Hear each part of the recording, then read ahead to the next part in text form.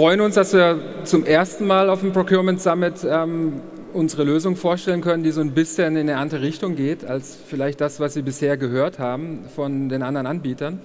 Ähm, wie der Herr Sachs schon gesagt hat, wir sind die kollaborative Cashflow-Optimierung, Marktplatz für kollaborative Cashflow-Optimierung und es geht dabei darum, dass ähm, ähm, finanzielle Synergien geschöpft werden. Also während man jetzt über physikalische Lieferketten spricht, hier geht es um die finanzielle Lieferkette. Ich bin Managing Director für Dach und ähm, wollte jetzt mit ein paar Folien mal vorbereiten, was Sie dann in der Demo sehen, damit Sie so einen kleinen Einblick kriegen ähm, und gerne dann im Nachgang natürlich mit Fragen oder direkt sich an mich wenden.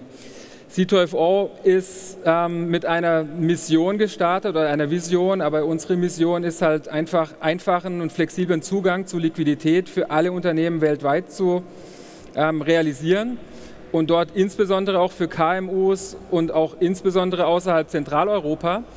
Ähm, und ein deutsches Unternehmen ähm, ist natürlich, was Liquidität angeht, und das ist auch hier ein bisschen repräsentiert, eher zu viel Liquidität als zu wenig oder zu einfachen Zugang zu Liquidität als zu schweren, ähm, natürlich prädestiniert dafür mitzumachen. Wir sind keine Startup-Firma, das heißt, wir sind seit zehn Jahren äh, bereits im, im Business und haben tatsächlich schon sensationelle Zahlen erreicht auf dem Weg zu dieser Mission. Wir haben über 250 Unternehmen, die wir selber Alliierte nennen, die bei dem Thema mitmachen. Wir haben auf unserer Plattform ähm, aktuell 2000 Milliarden Euro und ich habe das extra so ausgeschrieben, weil Billionen, Milliarde sich so ein bisschen im Englischen und Deutschen beißt. Es sind wirklich 2000 deutsche Milliarden, die heute schon äh, an Liquidität auf unserer Plattform sind und die für Kunden und Lieferanten ähm, im Zugriff stehen. Und zwar kollaborativ wir haben Investoren links, wir haben ähm, Happy Clients rechts, die auch ähm, Awards gewinnen und eben nicht nur im Finanzbereich, Treasury, sondern auch im Einkaufsbereich, weil halt das Thema Kollaboration relativ wichtig ist. Sie sehen einen Auszug der 250 Logos ähm, in Europa, vielleicht ein oder zwei rausgenommen, ist halt eine Philips, eine Siemens, eine Mediamarkt Saturn, die das schon mit ihren Lieferanten handhaben. Ähm, Warum sollten Sie als ähm, Einkaufsverantwortlicher überhaupt über sowas nachdenken? Warum soll man so eine Möglichkeit schaffen für einen Lieferanten und warum gerade jetzt? Das ist ja immer so diese klassische Frage. Ähm, zum einen, und da haben wir noch den Bezug zu Finanzen, ähm, ist natürlich Ihre Procurement Scorecard, was EBITDA, Kosten, Working Capital angeht. Was jetzt durch Covid, was Sie ähm, hier rechts sehen, natürlich ähm, noch mal ein bisschen deutlicher wird. Es geht halt weiterhin um Lieferfähigkeit ähm, Lieferkettenrisiken, die man ähm, vielleicht managen oder reduzieren möchte. Ähm, man muss aus unserer Sicht mehr in Richtung Incentives denken an Lieferanten. Also man kann nicht nur mit der harten Keule, sondern man muss halt auch Zuckerbrot liefern. Ähm, wenn man in Richtung Zahlungszielstandardisierung geht ähm, und die Akzeptanz erhöhen will, ähm, Kreditrisikotool ist ein Riesenthema, ähm, was jetzt kommt. Es gibt wohl so eine Euler-Hermes-Todesliste von Unternehmen, die einfach im Kreditrisiko demnächst ähm, rausfallen und somit dann die Lieferanten auf langen Zahlungszielen sitzen. Und letzter Punkt, auch sehr wichtig und ähm, gerade durch das deutsche Lieferkettengesetz, was diskutiert wird, ähm, ohne Incentives geht es aus unserer Sicht nicht, dass ähm, Lieferanten außerhalb auch von Europa ähm, bei ESG, das sind diese Environmental, Social Governance Ziele, Nachhaltigkeit überhaupt investieren, mitmachen. Ähm, letzte Folie, um dann den Übergang zum, zur Demo zu schaffen. Ähm, wie gesagt, ähm, die ist voll im, im Gebrauch. Wir haben ungefähr 100.000 Lieferanten aktuell, die das heute jetzt nutzen. Ähm, wir haben eine Plattform, äh, dort geht es darum, dass einer, der Geld hat, oftmals der Kunde, oftmals einer aus den ähm, zivilisierten oder den ähm, entwickelten Ländern, ähm, dort seine Accounts Payables hochlädt, seine Eingangsrechnung, seine geprüften und dann der Lieferant eben über unsere Plattform ähm, sowohl den Status dieser Rechnung sieht, aber dann halt auch eine frühere Zahlung ähm, anfragen kann. Und wie das dann aussieht aus einer Lieferantensicht, ähm, habe ich als Demo vorbereitet. Das Spannende an dieser Demo ist, dass das ähm, die, die Live-Lösung ist. Also es ist jetzt nicht irgendeine Idee, die wir haben, sondern so läuft die. So wird die, wie gesagt, 100.000-fach genutzt am Tag bei uns. Ähm, ich habe jetzt mal ein Beispiel rausgenommen. Wir machen, Sie sehen jetzt als Lieferant von Philips mal auf die Plattform.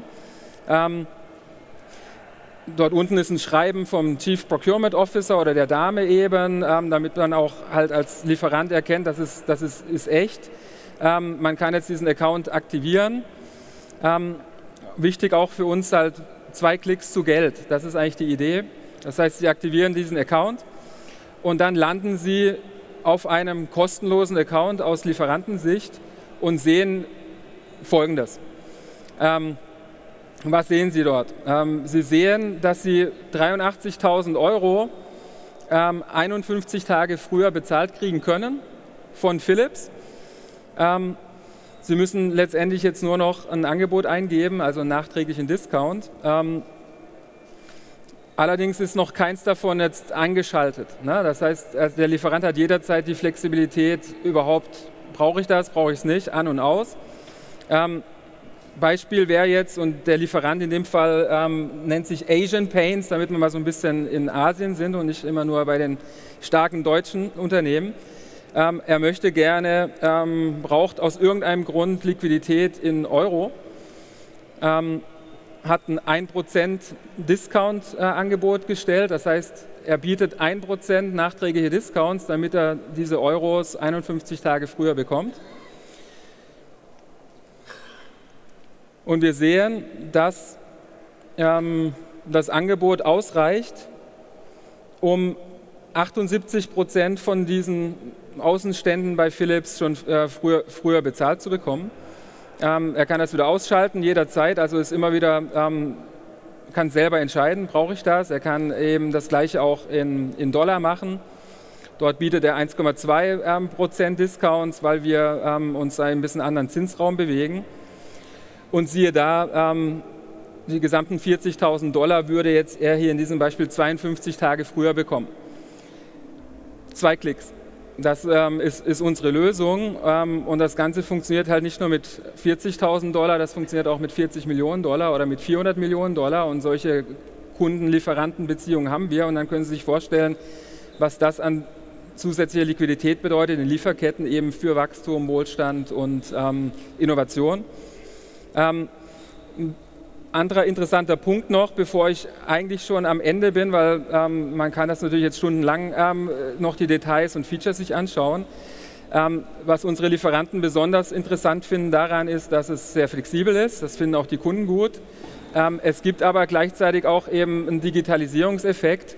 Sie können über die Plattform auf Ihre freigegebenen Rechnungen von Philips draufschauen.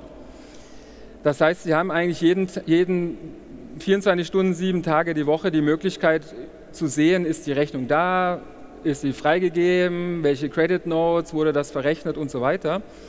Sie können dann natürlich als Lieferant, wenn Sie wirklich das wollen, sehr granular auch auswählen, welche Rechnungen Sie vielleicht nicht früher haben wollen. Sie können sortieren, ne, zum Beispiel die Langläufer, die brauchen Sie vielleicht jetzt noch nicht, weil es zu teuer wird ähm, und so weiter und so fort. Und ähm, das ist eigentlich schon die Lösung. Sehr einfach, ähm, im Hintergrund ähm, ein bisschen, bisschen komplexer. Aber die Wirkung, sage ich mal, für die ähm, Wirtschaft oder auch für das, was noch vor uns steht, was eben das Thema Covid und so weiter angeht, ähm, nicht zu vernachlässigen. Finanzielle Lieferkette ist mindestens genauso wichtig wie der Einkauf selbst.